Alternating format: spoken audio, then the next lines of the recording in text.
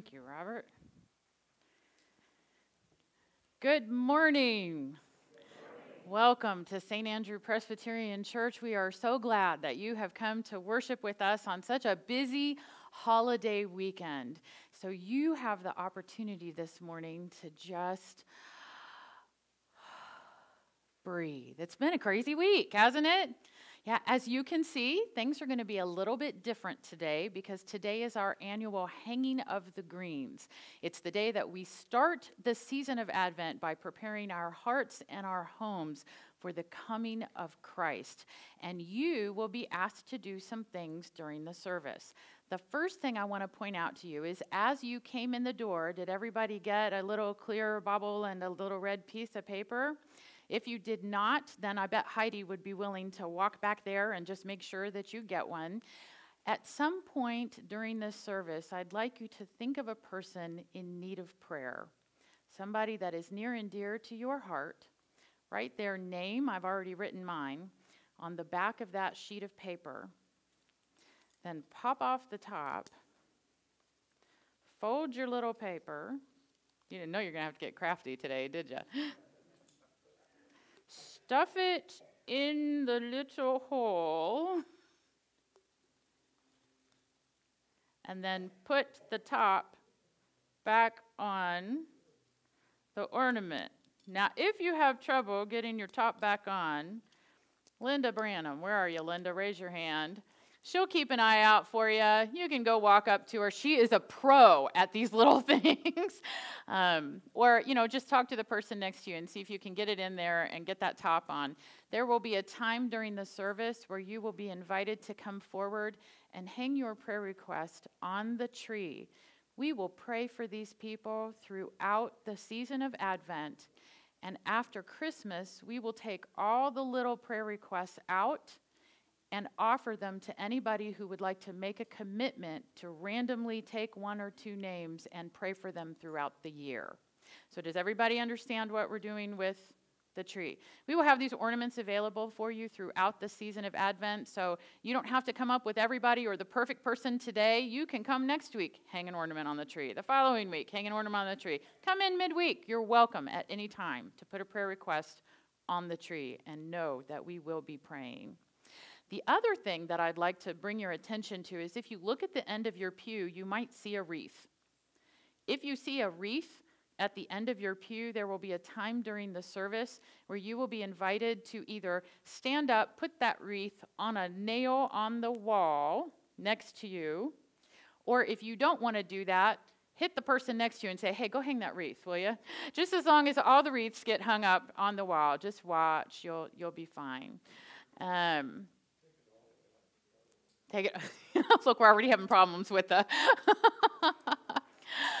um, if you have not already signed the pew pad, if you could just sign that uh, so we can keep a record of your attendance and send it on down, not only for our own records, but just in case somebody calls and says, I have COVID, we would like to make sure that everybody knows. We won't reveal the person's name, but we just want to let you know if you have possibly been exposed, just to keep you safe. Um, and Liam, let me say it's great to have you back in the sanctuary today. Welcome home. it's good to see him up and about, fully recovered. Do we have any other announcements for the congregation this morning? Then let's take a deep breath and have a moment of quiet prayer as we prepare our hearts to worship this day.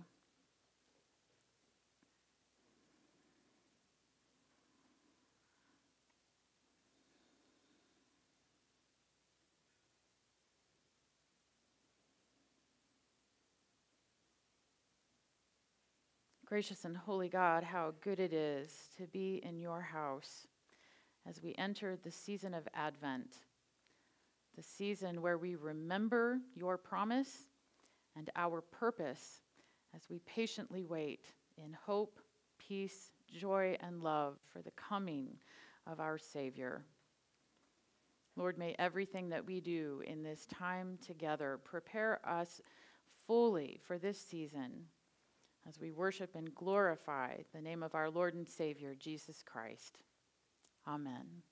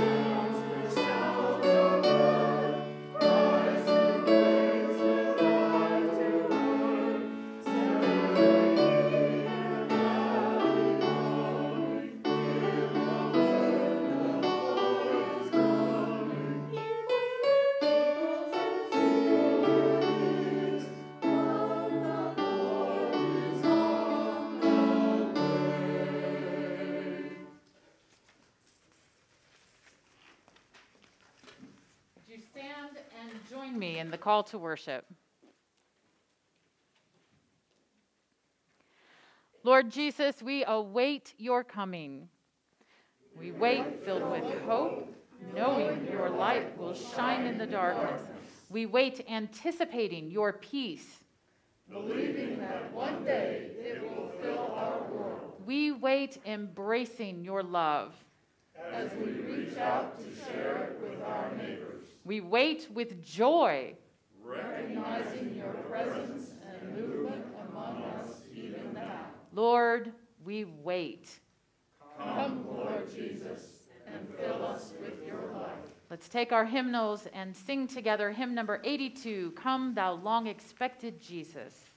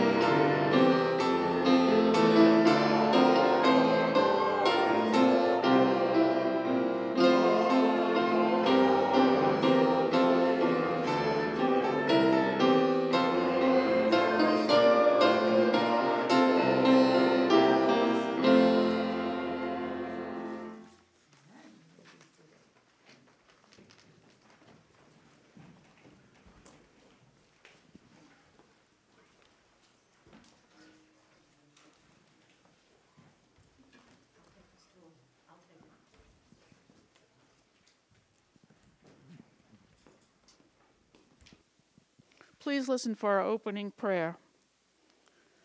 Faithful God, your promises stand unshaken through all generations.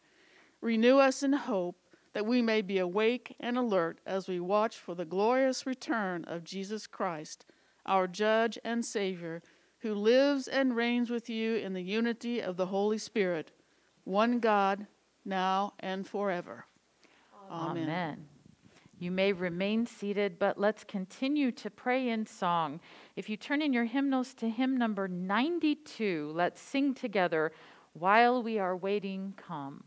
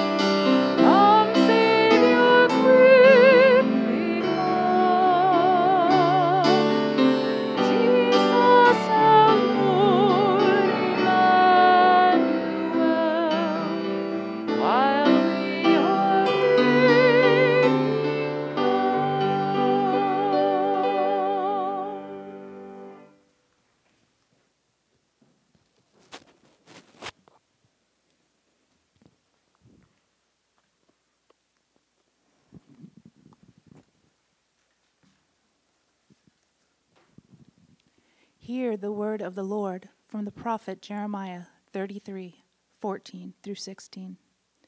The days are surely coming, says the Lord, when I will fulfill the promise I made to the house of Israel and the house of Judah.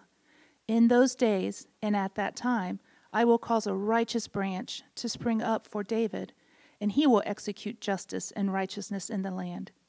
In those days, Judah will be saved, and Jerusalem will live in safety. And this is the name by which it will be called The Lord is our righteousness. Today we light the candle of hope. May it remind us of God's great promise to us all. He is our hope, He is our Redeemer, and He is our Savior.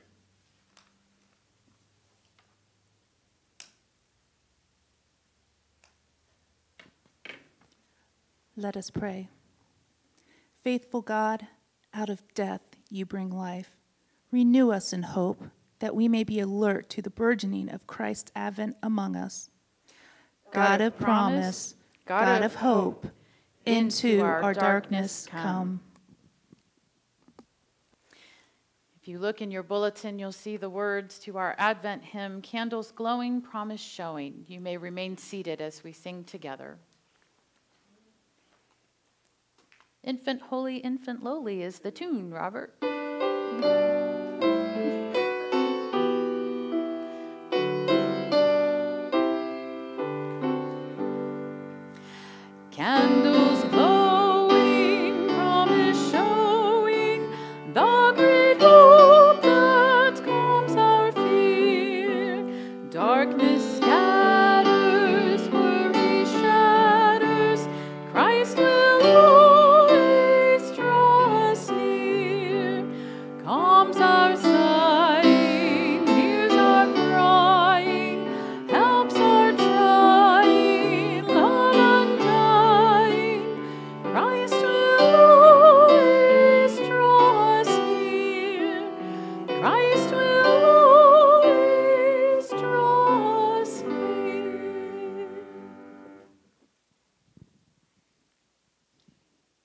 But there will be no gloom for those who were in anguish. In the former time, he brought into contempt the land of Zebulun and the land of Naphtali. But in the latter time, he will make glorious the way of the sea, the land beyond the Jordan, Galilee of the nations. The people who have walked in darkness have seen a great light. Those who lived in a land of deep darkness, on them light has shined. You have multiplied the nation, you have increased its joy. They rejoice before you as the joy of the harvest, as people exult when dividing plunder, for the yoke of their burden and the bar across their shoulders, the rod of their oppressor, you have broken, as on the day of Midian. For the boots of the trampling warriors and all the garments rolled into blood shall be burned as fuel for the fire. For the child has been born for us, a son given to us. Authority rests upon his shoulders. And his name, Wonderful Counselor, Mighty God, Everlasting Father, Prince of Peace. His authority shall grow continually, and there shall be endless peace for the throne of David and his kingdom. He will establish and uphold it with justice and with righteousness from this time forward and forevermore. The zeal of the Lord of hosts will do this.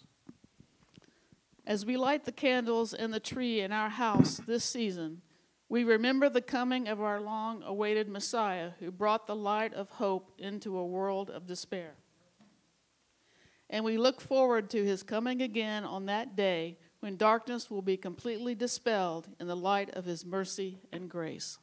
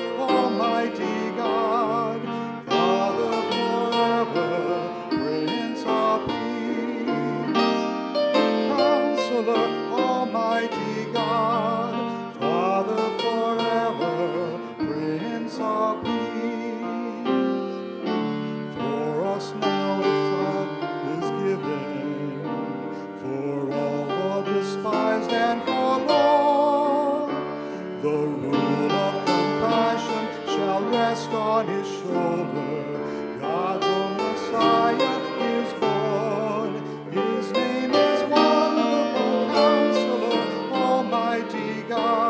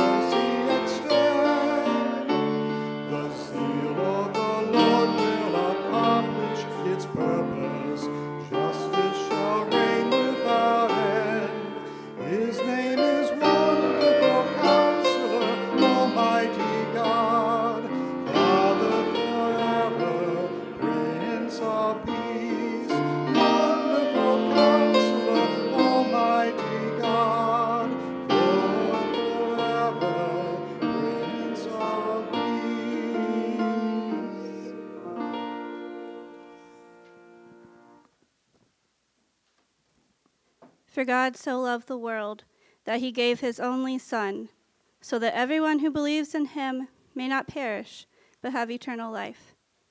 Just as the evergreen endures all seasons, we can endure all things, knowing that what we experience today is simply the beginning of a life that will never end in the arms of a merciful God, who loves us so much that he was willing to open himself completely to us through his Son, our Savior, Jesus Christ. You are invited to stand at this time and turn to hymn number 110. And as we sing, if you are sitting near a wreath, you are invited to hang it on the wall.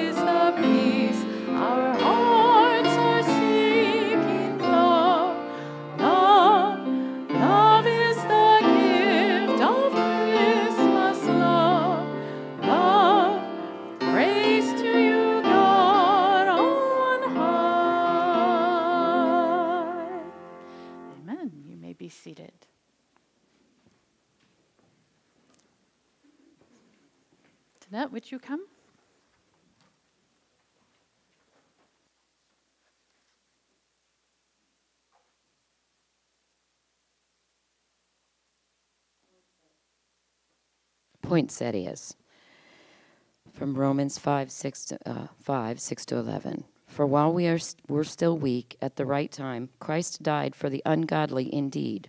Rarely will anyone die for a righteous person, though perhaps for a good person someone might actually dare to die. But God proves his love for us in that while we were still sinners, Christ died for us.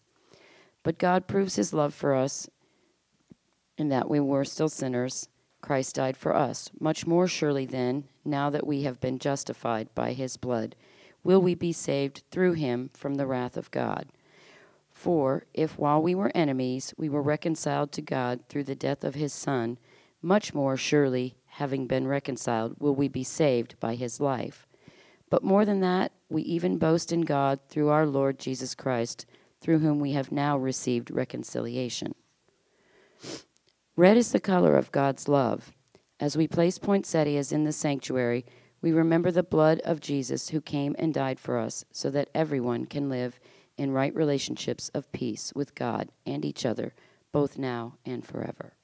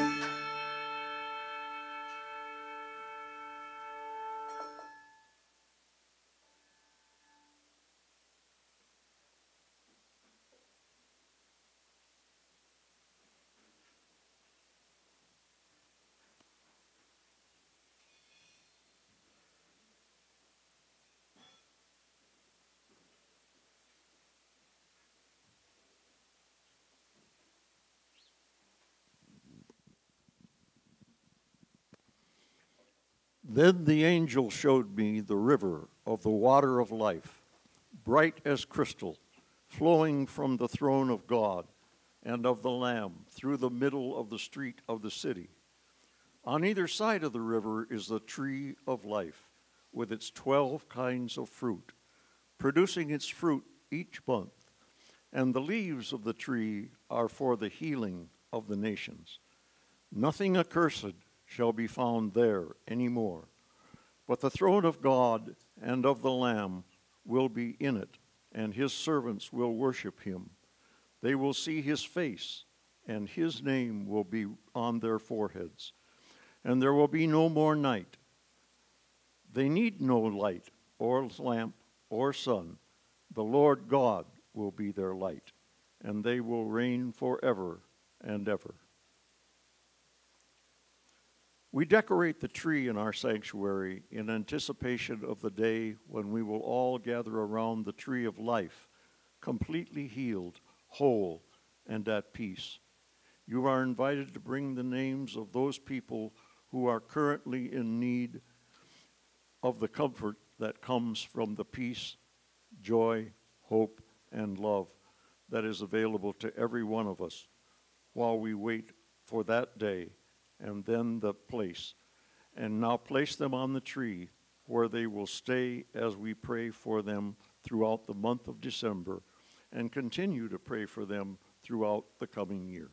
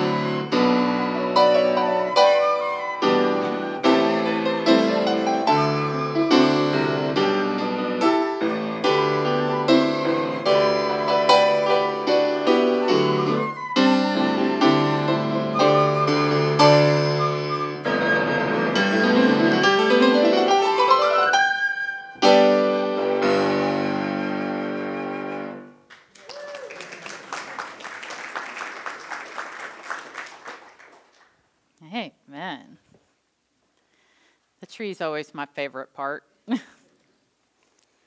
And I want to thank everybody who came in on Friday morning and put everything together for us so that we could come and do this together this morning. Um, I sent a little video out. If you missed the fun, just watch it and you can kind of see who was here and what kind of fun they have. If you need a link to it, just let me know. You can also go to our YouTube channel and see it on the playlist Midweek Musings, and it's there called Preparing for Advent. So, a couple of months ago, I saw an advertisement for a dress online. I don't usually purchase clothes on the internet, and I was not familiar with this store, but the dress was pretty, and I could picture myself wearing it to several different events in the weeks ahead. So I gave them my name, my address, my telephone number, and my credit card information, and then clicked the big blue button that said, Buy Now. A few days later, I was delighted to receive an email with a tracking code that stated my order was on its way. But several weeks later, I had still not received the dress. So I clicked on the tracking code, which took me to a website in China that said, Order is waiting for shipping with a timestamp on the same date as the email. But two hours later, on that very same day, it said, parcel is canceled. I checked my credit card statement and saw that the purchase price had been removed from my account. So I sent an email to customer service politely explaining my dilemma. Two days later, I received a one line reply that said, and I quote, Hello, your order has not been canceled. It has been shipped to you. Please wait patiently. No signature, no explanation, no way to reply. True story, I can't make this stuff up. Just please wait patiently. Yeah.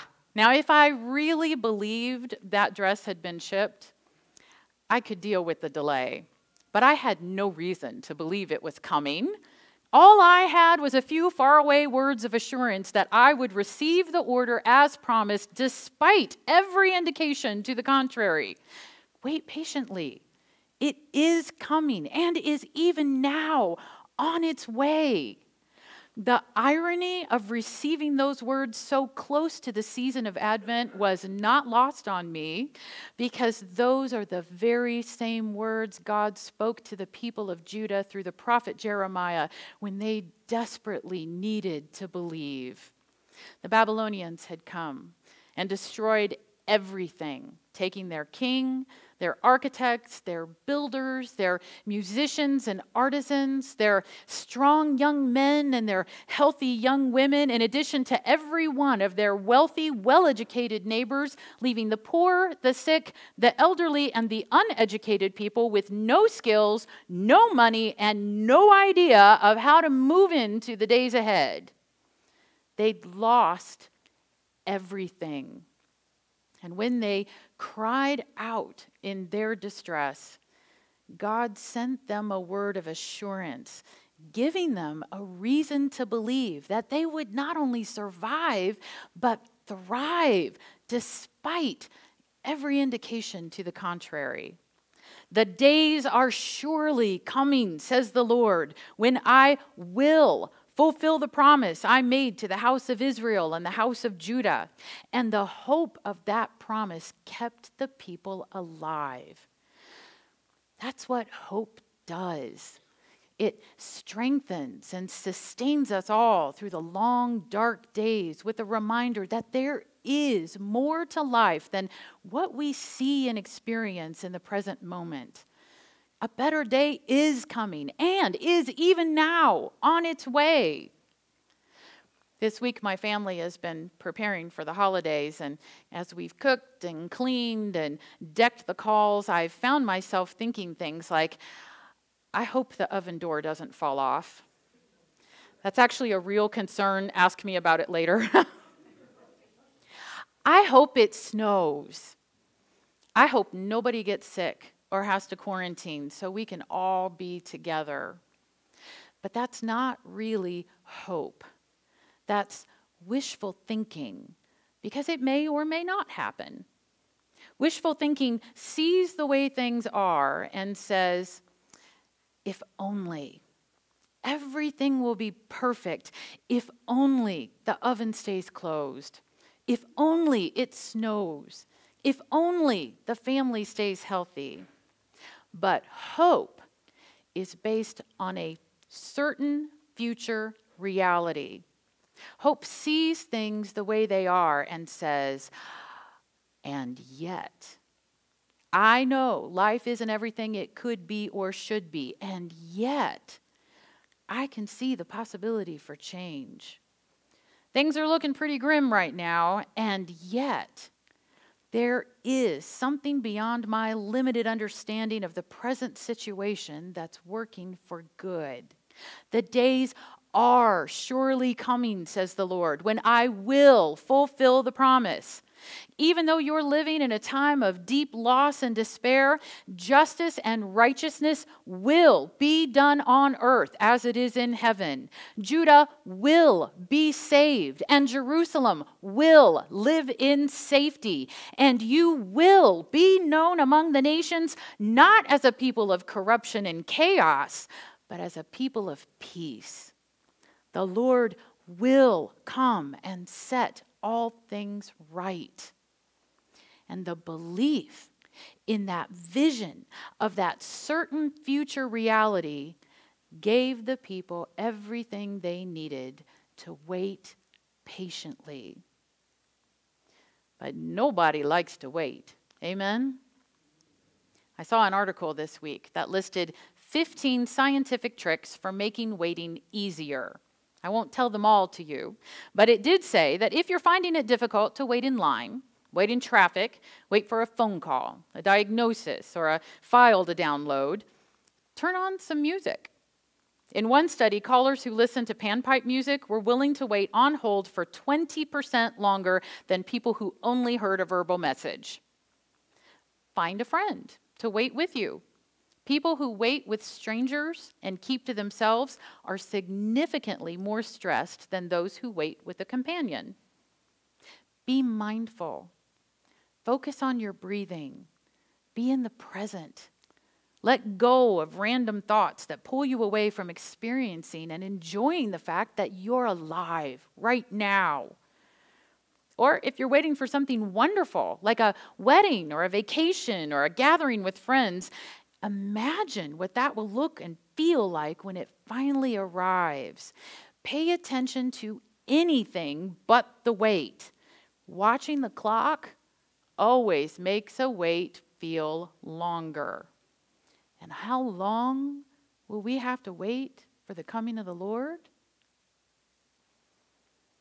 Only God knows. But what we do know is that God did send a Savior. And now, we as the church declare that the promises God made to the people through the prophet Jeremiah are now real in Christ Jesus. Christ has died, Christ is risen, Christ will come again. And in the meantime, we wait. We turn on the music and sing the hymns that strengthen and sustain us with the story of God's love. We gather with our church family and friends, bearing one another's burdens, rejoicing with those who rejoice, and weeping with those who weep. We focus on the present moment and pay attention to everything God is doing right here, right now, with gratitude for everything God has given us and we practice our faith by worshiping and studying and serving together as we look forward to the day when Jesus returns and makes all things new so we can live in right relationships of peace with God and each other for how long? Forever. Waiting patiently does not mean waiting passively because we wait with the belief of a certain future reality that has come and is even now coming through the hands and feet of those who follow Jesus in the way of hope, peace, joy, and love. For the days are surely coming, says the Lord. Do you believe? Let's remember God's promise and our purpose as we sing of the hope we all have in the coming Christ. You may remain seated, but let's sing together verses 1, 6, and 7 of hymn number 88. O come, O come, Emmanuel.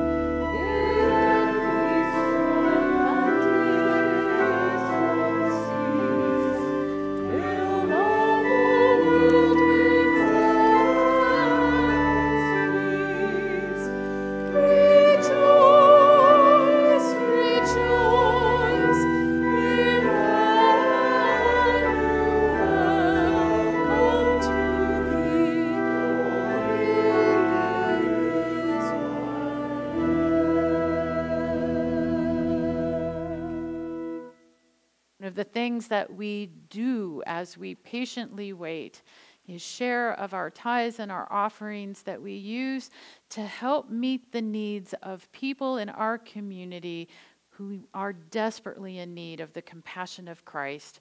So you are invited to do just that. You are welcome to leave your tithes and your offerings in the plate as you leave this place this morning. But at this time, let us stand as you are able and pray our prayer of dedication together.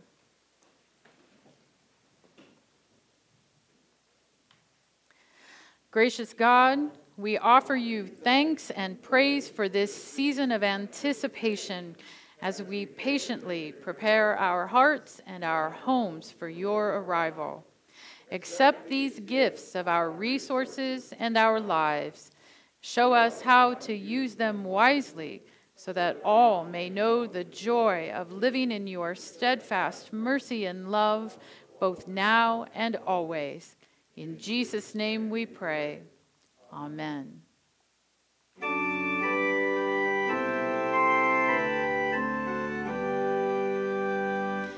Praise God from whom all blessings flow.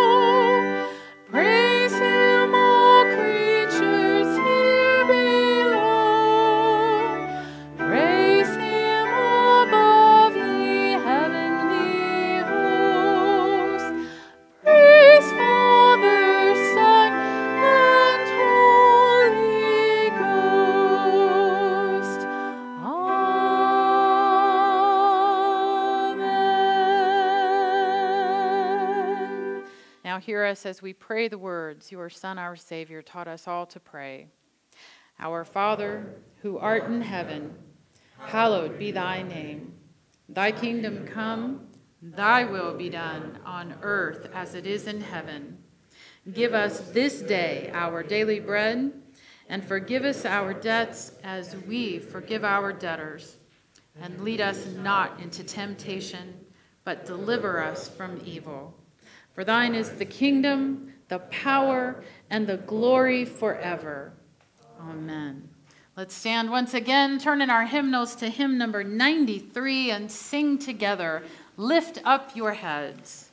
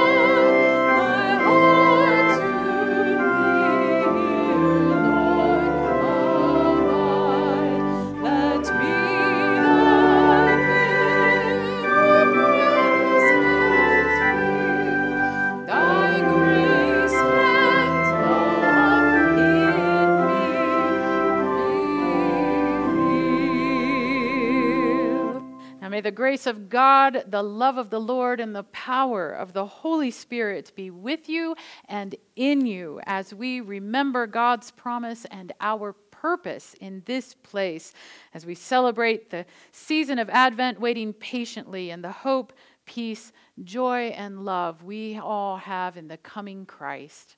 And all God's children said, Amen. Amen.